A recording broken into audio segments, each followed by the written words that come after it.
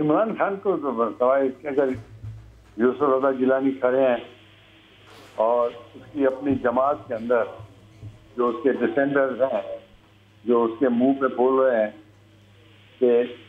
हम इन लोगों को वोट नहीं करेंगे अभी के लिए भी बोल रहे हैं। और प्राइम मिनिस्टर गया था फ्रंटियर में,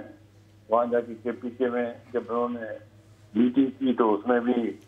तकरीबन पाँच छः एम और छः सात एम शरीक नहीं हुए।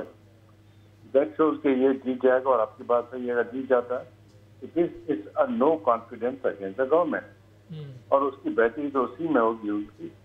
कि वो फिर असेंबलीज को डिजॉल्व करके और नई इलेक्शन कराएँ।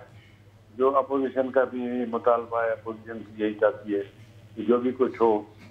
वो जनरल इलेक्शन के हवाले मकसूद आप मेरी राय से मेरे तजिए से मुतफिक हैं। कि उसके लिए ये काम, ये रास्ता बेहतर होगा, बजाय कि आगे असम्बली में अगर यूसुफ रजा साहब जीत जाते हैं तो ख़राब होने के। मैं समझता हूँ उसने रास्ते तो अपने सारे जला दिए हैं, कोई रास्ता बेहतर नहीं होगा, लेकिन